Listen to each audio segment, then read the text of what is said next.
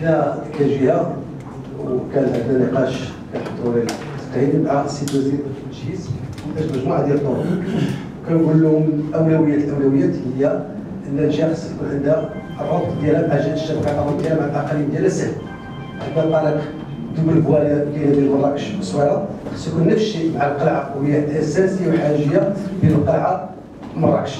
العدد الزيارات اللي كيمروا من القلعه مراكش هي الثانية في المغرب من بعد الدار البيضاء الرباط اللي كيدوزو تما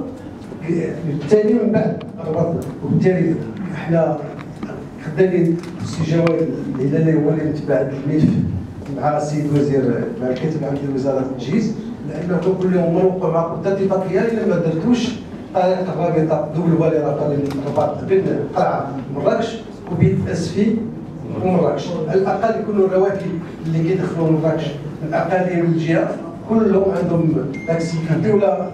سهل الربط والاتصال وامان ديال